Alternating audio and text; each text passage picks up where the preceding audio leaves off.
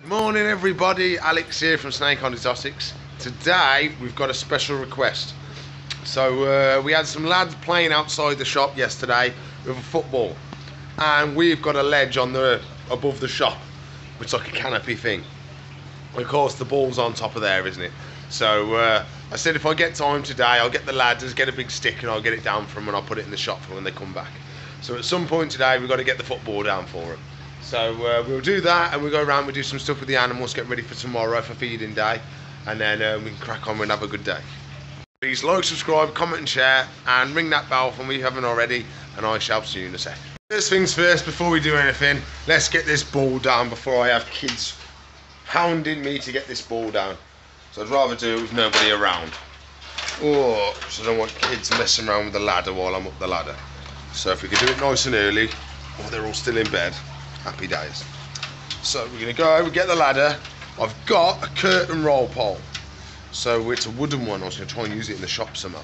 So we can use that to knock it down. We'll have a look where it is and see how far on the roof it is. So I ain't had a look yet. So I've set the ladder up to see if we can see the ball. Ah, she's there. Right there. See the tippity top of it. So I'll move the ladder across, we'll get the big stick and see if we can get it. Big curtain pole.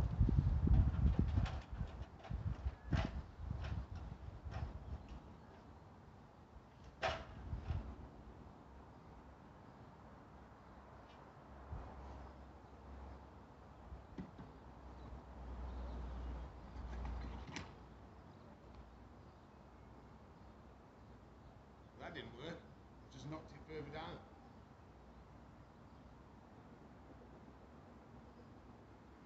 Did not work. We'll try again from further on down. Yeah, yeah, yeah. Good. Right, right, good. Go around here, see if I can get it.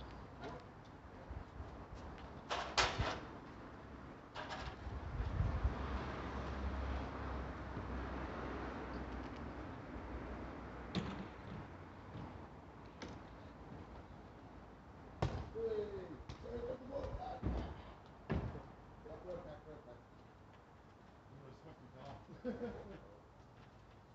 keep the local kids happy.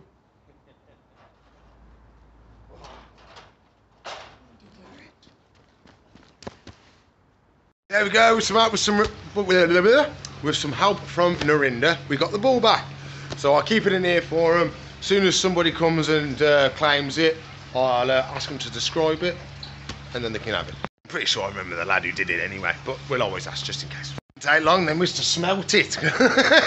They've just come in. Have you got the ball? Have you got the ball? It's not on the roof. It's not on the roof. Have you got the ball? Little kids, man, so funny. One job I'd like to do today is I think we need to move the arowana. He's getting quite big now, and he's literally ain't got much to swim. So he's just going back and forth. So what we're going to do, is we're to upgrade him to this big tank down here. So he can have a lot more room to swim, gives him a chance to get a lot bigger. Um, we will look at other fish to move around today, but that's going to be the main one that I need moving.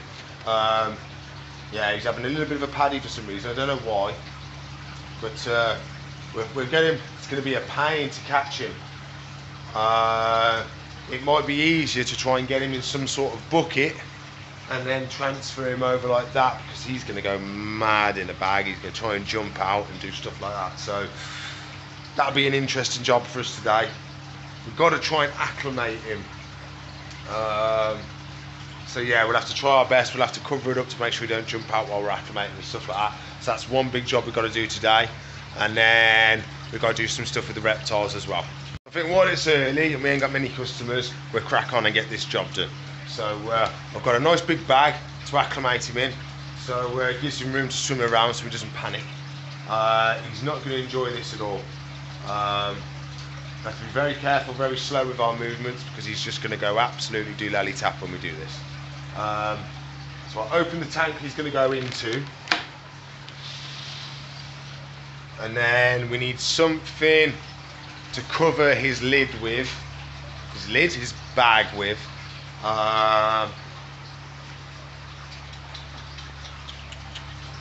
Might get another bag. We can lay another bag on top. So if he does jump, at least he's going to hit that bag and go back in. Um, yeah, he's going mad. I don't know why. Unless he's been listening to us. But he's, he's going round mad for some reason. So I'll get set up and we're, I'm going to try and scoop him into the bag because uh, I don't really want to net him if I can help it. Okay, so here he is.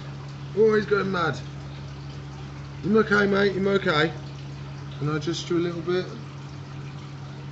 You see the whole tank? Oh, we're jiggling, we're jiggling, we're jiggling. Okay, you can see most of the tank now.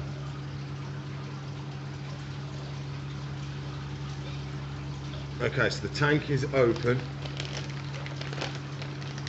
Hopefully it doesn't go too mad.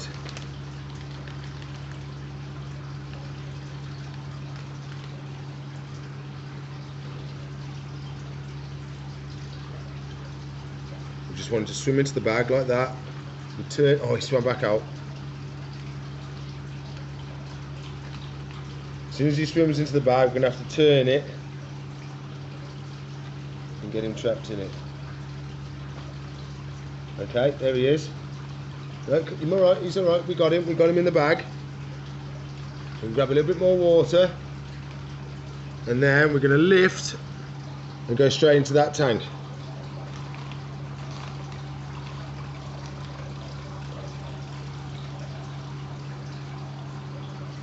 Okay, so there he is. We're dropping straight down into here. we give it one dip. Just a bit more of this water. And then we lay this on top of the bag. So if he jumps, the bag might stop him a little bit. Um, we have to stay away from the bag so we don't wind him up. But uh, I think that'll do the job. So he's down there now, swimming around in the bag. It's going to be, it won't be too long because we don't have to acclimate for temperature because the tanks are exactly the same temperature. All we have to do is acclimate for water quality. So uh, 15 minutes uh, and it should be okay. So we've already done one dunk. I'll probably do four dunks during this time and then uh, he'll be ready and he can go and have, he's got a nice big tank to swim in. I don't want to jinx it, but touch wood, that went well. I was expecting him to jump a lot more than what he actually did. Um, he only jumped twice in the bag and stayed actually stayed in the bag. So uh, and he's chilled out now. He's just sat there in the bag chilling. So he's not panicking. He's not going back and forth. So we're just gonna. I might turn the light off. That might be a good idea as well. Turn the light off to that tank. Let him mellow out, and then um, we can turn it back on once we release him. What I've done is I've darkened half the tank because we have half a light bulb is on one side and the other half is on the other light bulb. So where he is in the bag, it's actually dark, then the rest of the tank is lit up. So uh, if pat, he hasn't. I couldn't see him in the bag then. He's right at the top. Oh, he's okay. He's in there.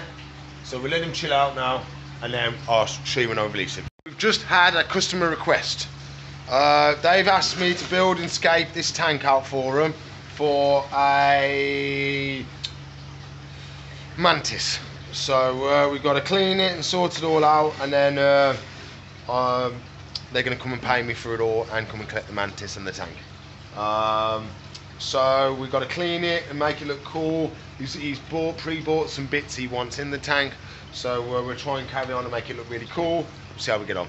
So you don't want to watch me clean this because it could be boring, but it might be funny to watch me do it really, really fast. So we do it in uh, time lapse and uh, see what happens. Uh, so cue music, cue montage.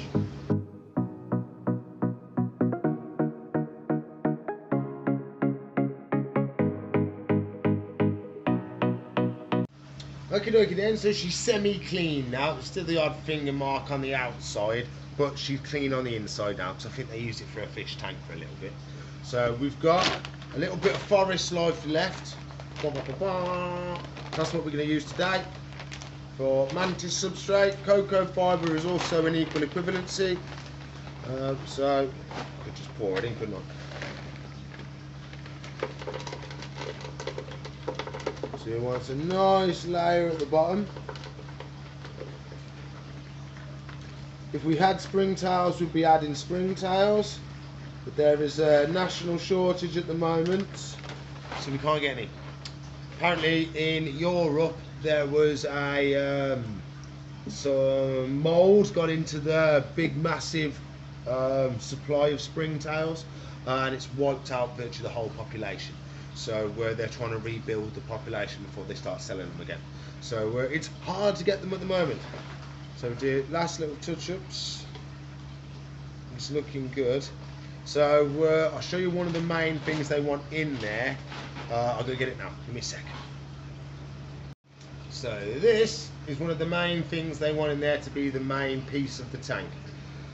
So really it'd be nice to get some moss and try and get some moss to grow on it. Um, but we might struggle a little bit.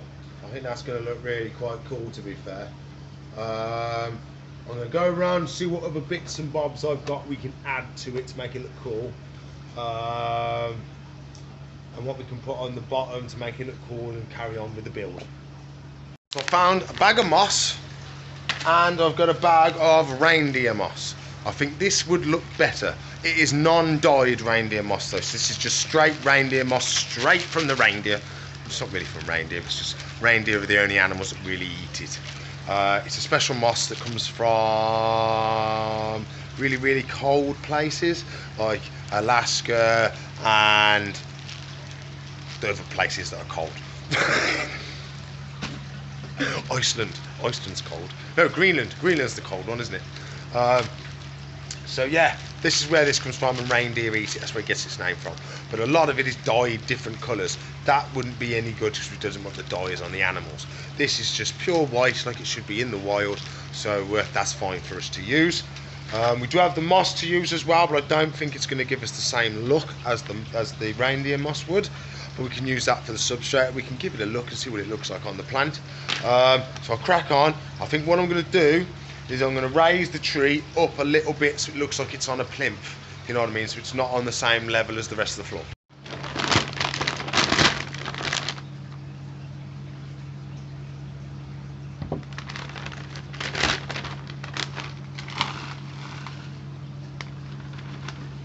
Lovely, lovely, lovely, lovely. There we go. That's all of my stuff. All of my stuff. Ready to go. Oh, oh, oh. So that is where the tree is going to go, I think. I like the look of that. Slightly raised up platform, only a smidge. Which will the trees fit on there? Oh, lovely. That's what we like. So it's going to be up in the corner like that. Can find just a tiny bit of more substrate just to hide some of the ends of the roots. So it looks like the roots are going into it. We can hide some of that with the moss as well. Uh, so what I'm going to do now is I'm going to, no, we'll try the moss first. So I'll put the moss on the bottom and then um, I can see I'm putting some on the tree and see if it looks right. If not, I'm going to go for this. But I might time lapse it when I actually do the tree because this might take me a while. But we can start with this, which is our live moss. There we go. So we've got lovely, lovely live moss. It's not super the best though. I mean, it's all, it's, it's okay. I wouldn't really say it was alive though, apart from well, these little tiny bits are but the rest that this is dead this is just dead so uh, you want the live moss where it's all green it's better I found when it's in the tray when it's in the tray it's usually a lot better because it hasn't been rammed in like it is with these so we can do a nice thin layer across the bottom and I think if we did moss on the tree it's going to make it it won't look right because it looks like the same stuff that's on the floor Let's try and get it nice and fluffy if we can, so it doesn't look as weird. If we just got blocks of it on the bottom, I don't think it's going to look right. But it should give a look of like a dry grass sort of look. I think that's starting to get a little bit looking good. And I want just a tiny bit going up the roots just to hide them a little bit and make it look like the roots are coming out of the soil. So I'm still breaking it up in my hands, getting it nice and fluffy, and I'm just going right at the base of the roots. I don't want to hide all the roots because it's quite cool looking and they've put quite a lot of effort into making it look cool. So I just want to hide the tips, just the tips. Just the tip. That's what we like, just the tip. There we go. And I'm going to do round the back as well. We don't want to miss the back. So we're going to have to slide it down past it all. I might have to get the tweezers for this because my big hands can't fit down the back. So I'll go get the tweezers and I can push that down into place. Okay, so I've got my tweezers. Push that down. Oh, that's looking good. Okay, pass, push, push, push. Come on, past the tree. Get off the tree, boss. Come on, off the tree. There we go, down the bottom. Push it down nicely, recover the roots, show a bit of wood. Okay, I likes the look of that. That looks quite cool. So I might put a tiny little bit just on this edge because it looks a little bit weird. There we go. Now I'm going to do the tree. It might take me a while because if I did this on the tree, it ain't going to look right. It would look okay, but I just don't think it would look really cool. No, it's it's it's going to match the bottom too much. It needs to be a different colour. So I think the closest thing we've got is the reindeer moss, which is going to be a little bit whiter than the moss. So if it takes me ages, I'm going to do a little speed thing for you. So uh, we can try, but what I'm going to be doing is I'll be getting the base stem like that, and I'm going to be ramming it into the pockets and getting it to, because we don't want to use any glue.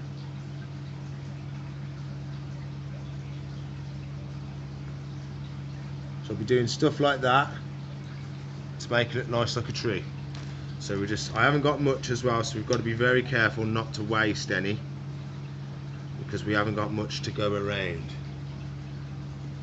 So I'm going to be nice and gentle with all the bits and try and poke it into nice little nooks and crannies so we get the idea that it looks like a tree. So I'm going to crack on with this. I could put you on fast mode so you get to see what I do and then the tree will just magically get covered in stuff.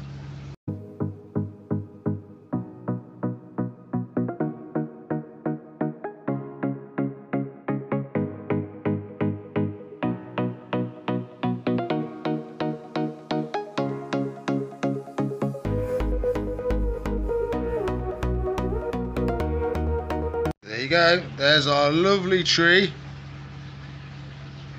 Almost looks like it's a little bit frostbitten. So what I've done, I haven't tried to cover every branch. I've tried to keep some exposed so it looks a little bit like a normal tree and you can see some of the branches and stuff inside.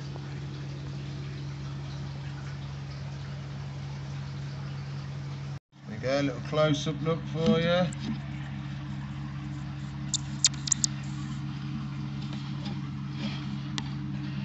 There you go, there's the root system.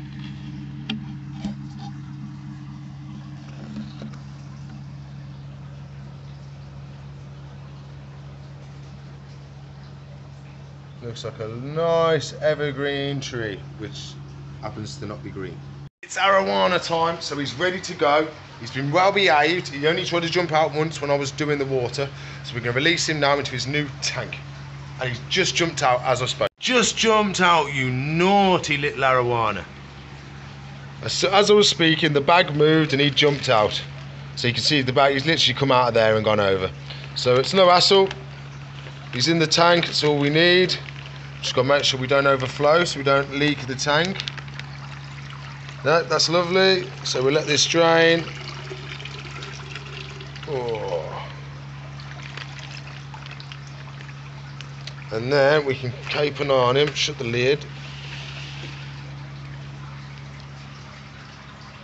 There he is, look, he's looking at the other fishes. You see, we fed him yesterday, so he's got a nice big belly on him.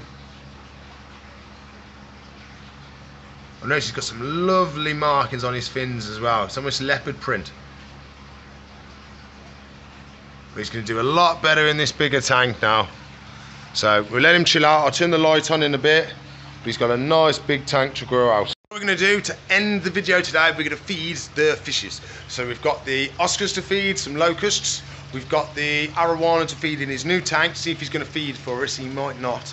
Uh, and then we've got the wolffish to feed as well. So we've got a bunch of fishes to feed. So we'll do them and then we're finished for the day. We're going to do little Oscars first while we wait for uh, stuff to defrost. So we've got our two heavy reds Oscars. So heavy red means they don't have all the normal patterns like our big one. They're, all the red is like bled into everything else. So uh, they're very, there's not much markings on them. They're basically just red. See, they've just got the red sides on them. There's not much black markings like on the normal ones. Um, they've just got the big red side. So I think they'd be really cool when they're big. Um, so I'm going to chuck them in some locusts, see what they do, and hopefully they have a good munch. And then lads, are we ready? You got white on you have as well. Alright, so let's get some locusts. Some locusts. Oh, we got one jumped in already. He jumped in, he sacrificed himself. He's like, I want to go to the fishes.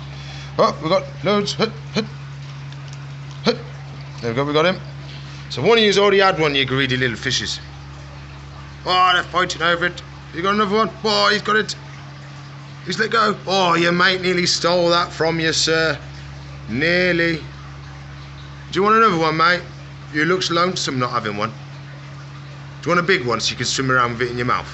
Okay, then we can sort that out for you, sir. Where is it? Where is it? Open the tub. Give me a locust. Oh, we got two. Whoop. Which one do you want? The big one or the little one? It's up to you. It looks like one really big one because they're touching. Oh, separated them. He's going for the big one. Oh, he's got himself a big one. He said, yeah, I can swim round with one in my mouth just like he can. We'll leave you for a little bit of extra food for in a minute. As soon as they see you, you ain't going to last long, mate. So you can just sit pretty and they shall be back in a sec. And we're on Big Oski. Big Oski has large locusts because he's a big lad. He just inhales these as well. So uh, we'll get set up and we'll chuck some in for him. Don't you jump out. Stay where you are. Up, up, up, up. He's naughty. Tries to jump when there's no food. Stop it. Wait. Wait, wait. Ah! Stop it. Wait. So naughty.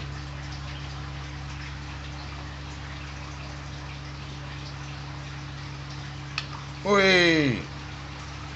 You so naughty. He's alright though. He only he only jumped out and jumped back in. He's a good lad.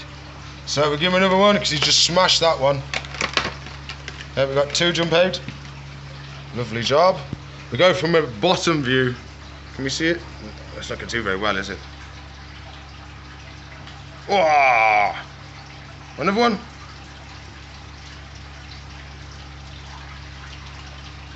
Whoa. See now that is the proper markings. You can see the difference now. I'm really looking at his big face.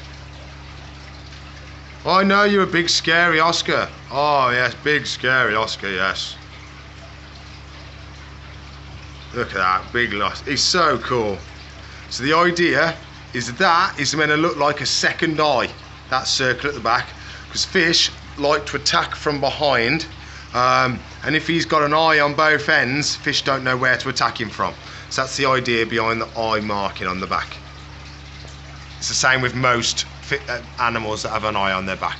It would help if I put water in there to defrost it, wouldn't it? Just leaving it in there with no water does nothing, Alex. so what we're going to do now while we wait for that to defrost again, uh, we're going to feed the arowana. So he has had a couple of hoo-has today. Uh, anyone walks past the tank, he goes mad. So we've got to try and be careful not to scare him. So I'm just going to put some in at the one end and we're just going to sit and watch him and hopefully he's going to feed. We did have some yesterday, so he's not going to be super hungry. So I'm not going to go mad. We're just going to give him a little bit. Here we go. Not much. We sit here and we watch him. We see if he's hungry, boy. So he's right at the far end at the moment, squaring up to the Grammys. It's like I'm the biggest fish in the tank. So the food is all the way over here. So I'll be surprised if he comes over to get it. But I think he's going to do a lot better in this big tank. A lot better. What do you think about trying to do the wolffish in slow mo? I think we're going to, it might be, quite cool. So I'm going to set up the camera and we're going to try and feed him in slow mo and see him come up and splash. That would be really cool.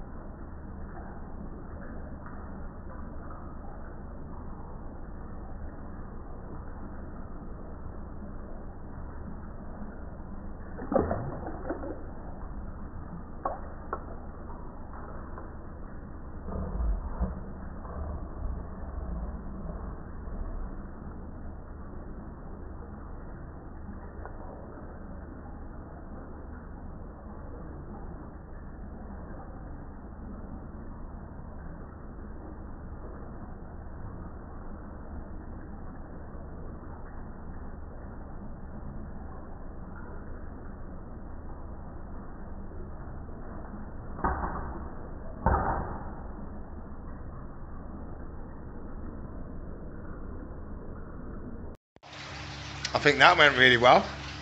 So uh, he us a good drenching. but we have to start filling his tank up. he keeps draining his tank by splashing. But how cool was that, man? On the first one, you see him on top of the water swimming back down. The second time, he just drenches me. But what a cool fish, man. Oh, I love this fish. Afraid that's all the time I've got for you today. Please like, subscribe, comment and share. Ring the bell if you haven't already. And if you want to support me, the animals and the shop, there's also a link in the description below. Um, and if you want to see where I get my animals from and what animals are in stock, there's also a link in the description below. So I'll see you in the future. Bye.